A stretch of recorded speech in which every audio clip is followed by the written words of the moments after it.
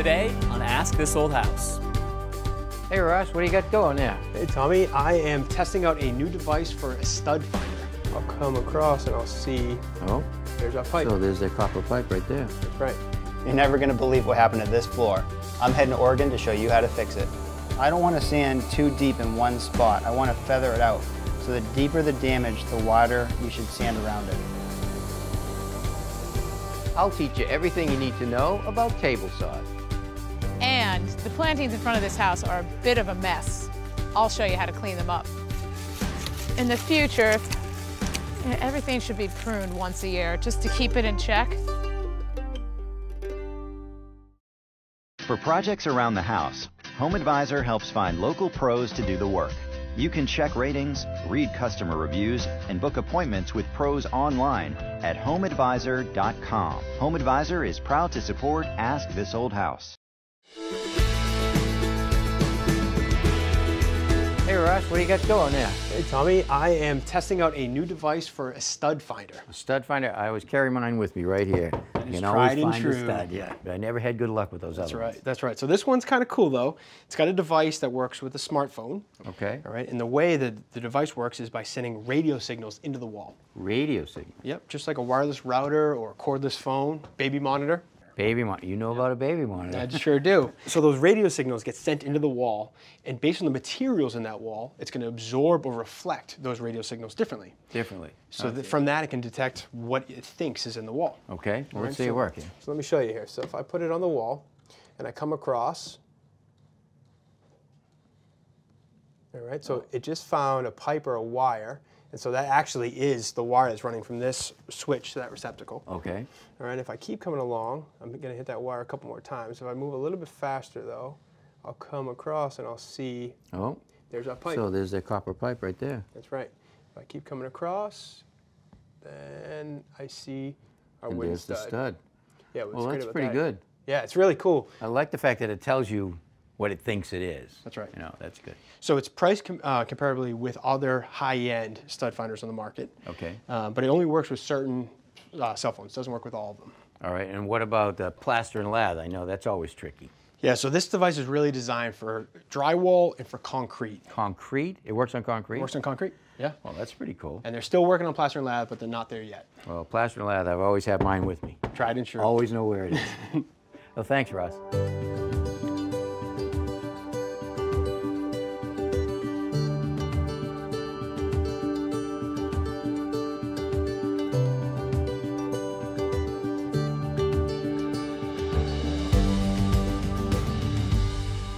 Hi, Aaron. Hi, Nathan. Welcome to Portland. Thanks for having me. Wow, you have a lovely house here. Thanks. We really like it. We saw it on the first day of house hunting, put in an offer, and got it that day. Wow, really? Yeah. That doesn't happen very often. It really doesn't. Come take a look inside. okay. Wow, I can see why you guys love the house. Yeah, the old touches like the picture railing are one of the major reasons we decided to buy this home. That's a really nice touch. A lot of people don't even realize that it has that little lip and they can hang their pictures on it. Yeah, another thing we really love about this house are the wood floors. We think they're original to the home, which was built in 1907. They look like a Douglas fir and they've aged really well with the house. Yeah, they look great, but there's one problem in here. It's right there. Oh, what's going on here? Um, my husband was ironing, and for some inexplicable reason, he set the hot iron face down on the floor. Do you guys not have an ironing board? We do. I think he was just in a hurry. Well, it looks like it just went below the surface, so I think it's a really easy fix. Let me go out to my truck, grab some tools, and we'll get started. Great, thanks.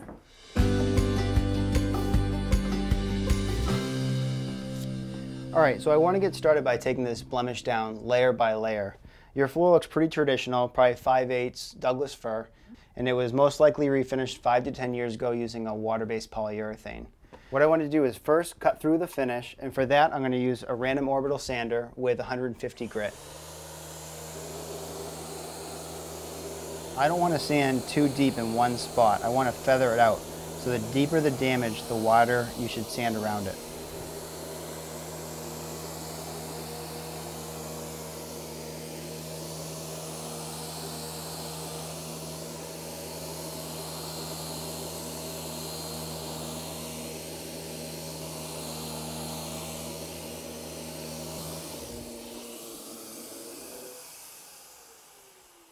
Now I'm going to switch to 180 grit sandpaper.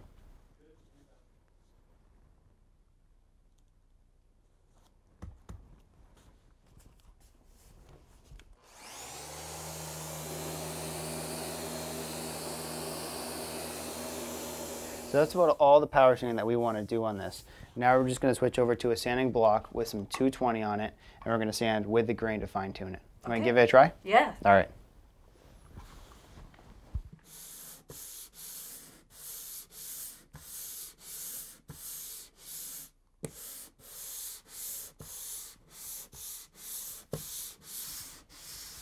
All right, let's take a look. That feels nice and smooth. Yeah, it does, and you can't even see the burn mark anymore. Perfect. So now the last step we want before we do the polyurethane is use a tack cloth. What's that? Now it's just a cloth with a little tacky substance on it. Some people think maybe use a wet rag, but that'll actually raise the grain that we just sanded down. So we want to use this to take off all the fine dust before the polyurethane. Okay.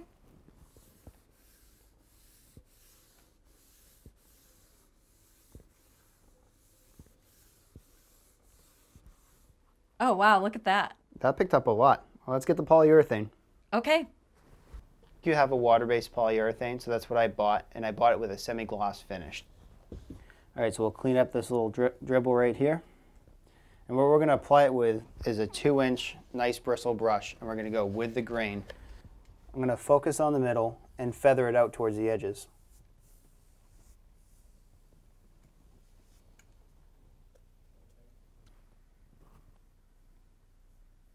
Wow, that looks great. What a difference. See how it darkens that fir right back up? Yeah, it looks really good. We're lucky it was just the finish on this wood. If there was a stain, it'd be a lot harder to match. All right, let's let this dry for about an hour before applying the next coat. This is just a light pass with a 220 grit to give the next coat something to bite to.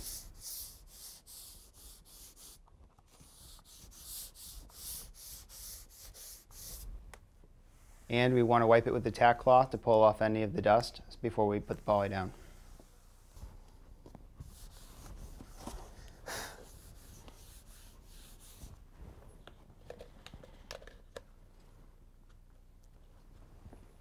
And now the second coat.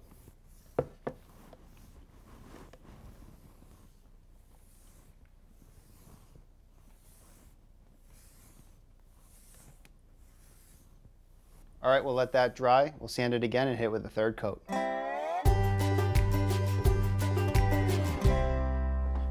Third coat's done, Aaron. What do you think? Wow, it looks great. I can't tell that anything even happened, and I didn't think it would be that easy. Thanks for coming to Portland, and thanks for your help. Thanks for having me.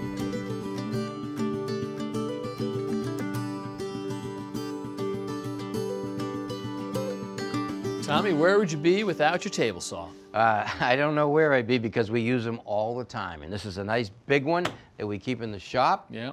Because it's very heavy. You need two guys to carry it around at least. Cabinet saw, expensive, so a lot of people don't work off of one of these. They work off of something more portable. Small portable saws are great. They're on the job site all the time. We have a few of them going all day long, back and forth. And this one's pretty cool because it's a battery operated Oh, is that right? Yeah, you don't even have to plug it in. So you plug the battery in and you're good for a long time, a lot a of cuts. way. So it's also one of the most dangerous tools out there. So you always have to be thinking about safety. Let's talk about some of the techniques when making cuts to keep us safe. All right, well, first of all, you have this, this protection right here to keep the sawdust off of you.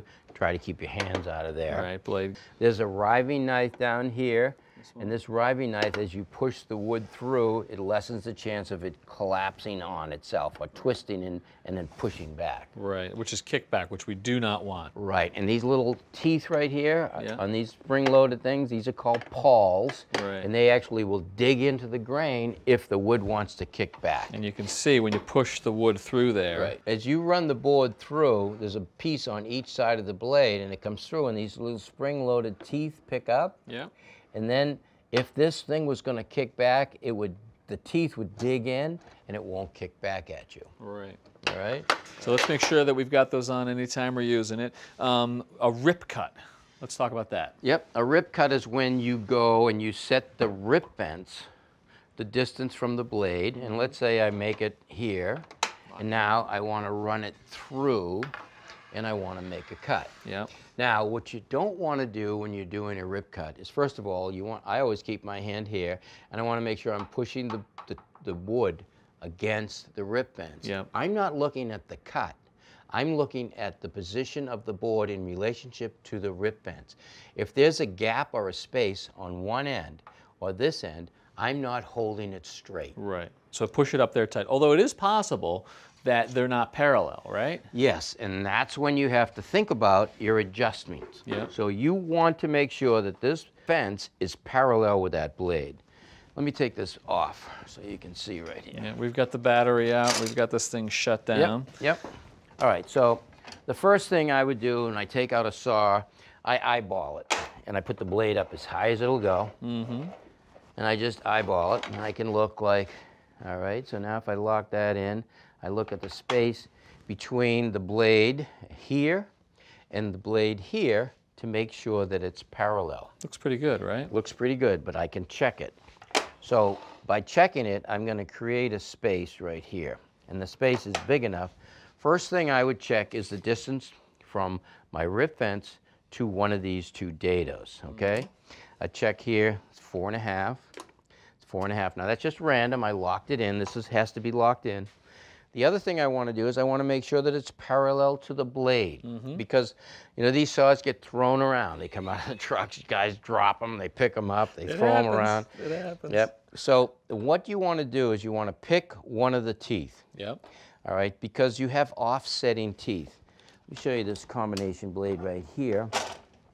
If you look at the teeth, one points to the right, one points to the left. Yep. All right, so if I measure from the wrong tooth, There's a little bit of a diff in it's the gonna, distance. That's going to show me that I'm out of parallel. Okay. So to find that I'm in parallel, I'm going to pick a tooth. I'm going to say right there. So now I have nine and a half inches from this side of this tooth. I'm going to take this tooth and I'm going to rotate it back here. Hmm. And I'm going to measure again. All right, nine and a half inches. Gotcha. So this fence is parallel to the saw, eh, but really parallel to the blade. Right, which is key. And that's actually going to help us be safer by minimizing kickback. Right. Now, when making a rip cut or a cross cut, I like to first set the saw blade so that it just comes through. All right?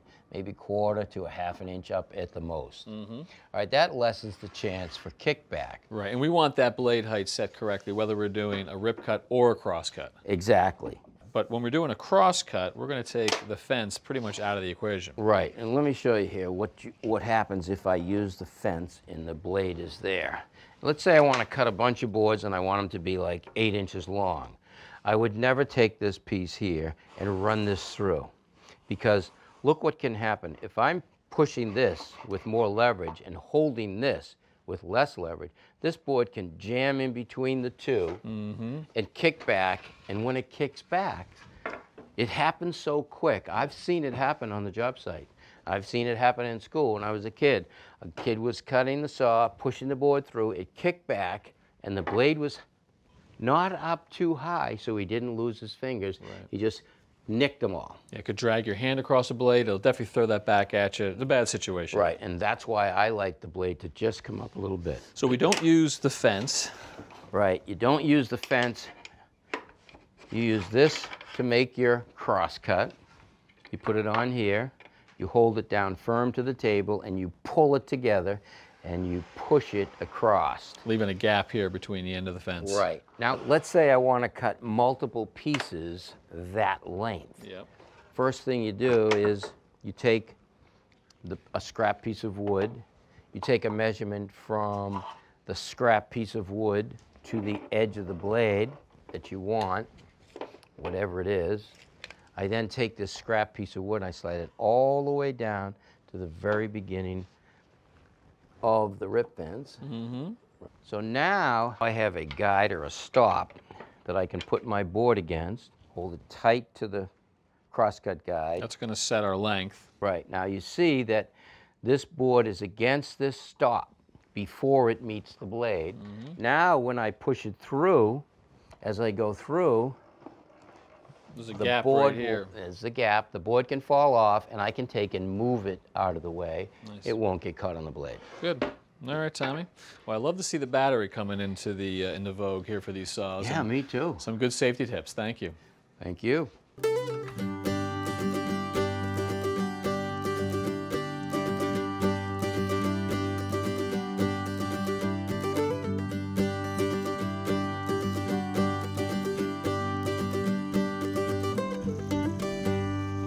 Hi, Jenn. Thanks for coming. Thanks for having me. Nice to meet you. Nice to meet you too. So, what do we have here? So we have some issues going on on either side of our walkway. Okay. Um, not really a, a green thumb type of person. We got this tall, skinny green bush. It's kind of just falling over. Mm -hmm. We got this one that looks like it's flattening out. I think it's a holly. Right, it is. Very good. And over here we have this rose bush that keeps Attacking you as you go yeah. in. and then we got some some dying bushes over here. All right, so just looking at this quickly, I think over here it could be a possible snow problem. I don't know if you shovel off to the side. I mean, May this that. arborvitae want this is an arborvitae and it wants to be upright, and it might just not be in the right place anyways. Okay. And then the holly looks like it's just been crushed over the years and maybe not pruned.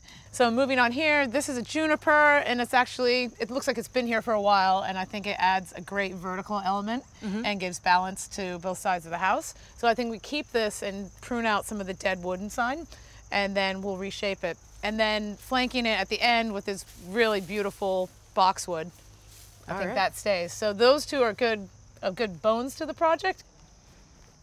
Um, and then over here, this rose is definitely in the wrong spot, um, but it could relive on in another spot. So thinking that might be a good transplant. Works for me. Um, you have a lot of good bones here. There's definitely good plantings that have been here for a while. So say this Japanese holly, I think we just tuck it in and prune it to reshape it. Okay. Um, this is an arborvitae and that's doing well.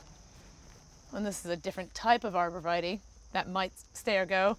This boxwood has definitely seen better days and I'd like to Get take it out of here. Yeah. So what I'm thinking is we go through and do the removals that we want to do, and then do the pruning, and then we see what blank areas we have to work with, and then we'll come up with a plan from there. That sounds great. All right, let's get working. All right.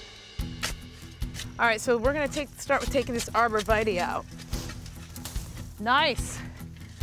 Okay. All right. All right, I'm just gonna cut this back a little bit so we can, it'll be easier to dig out the base so we don't scratch ourselves. Got that? Yep.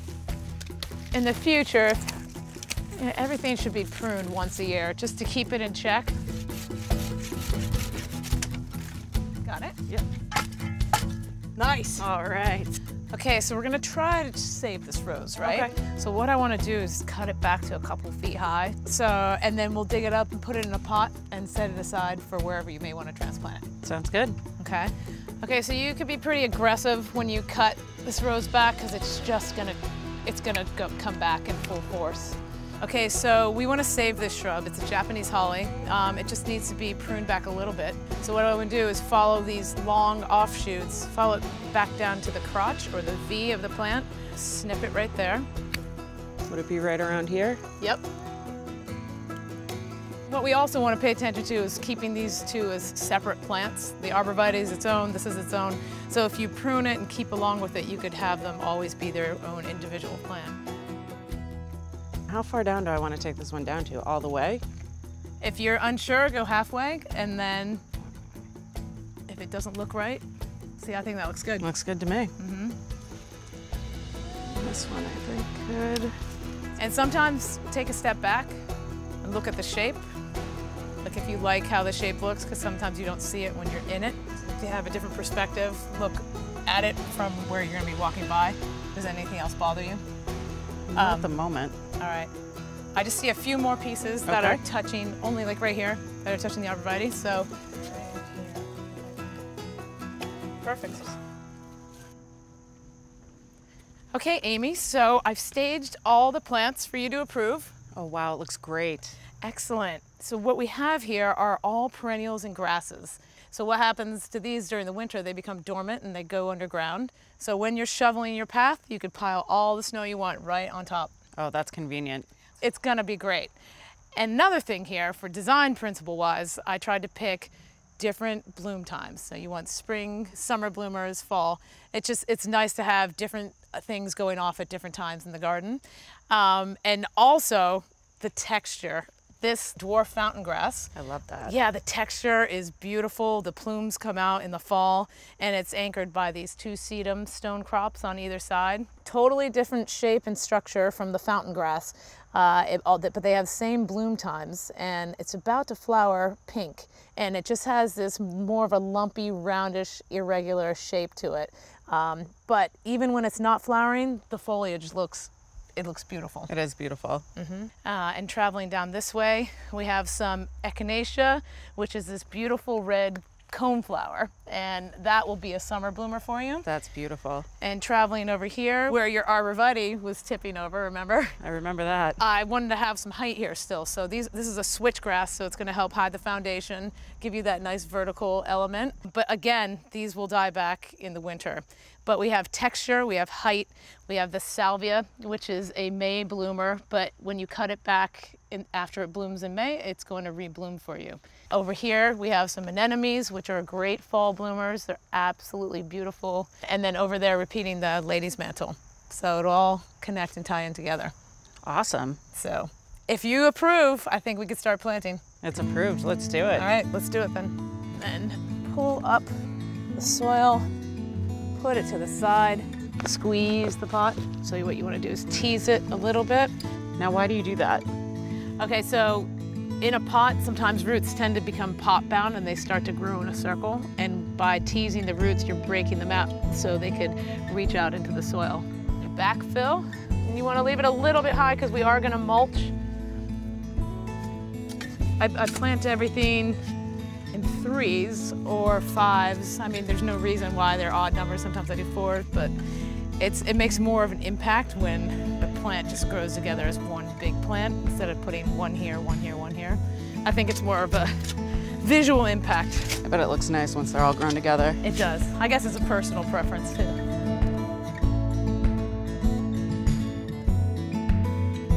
Okay, so the final stage is mulching. And then let's just sprinkle it around the plants, but don't cover the base of the plant. Okay.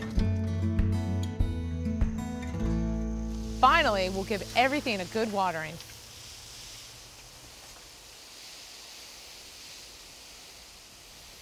Okay, so your homework is to water the plants until they're established and then cut them back at the end of the season. I think I can handle that. It really looks fantastic. It really does. I mean, it's so welcoming. The colors, the textures, the heights. Everybody thinks you need to put heavy shrubs for foundation plantings, but you could just see just adding those perennials for color really helps out a lot. Well, I really can't thank you enough. Well, keep them alive. I'll try. All right, nice to meet you. Have a good day. Take care.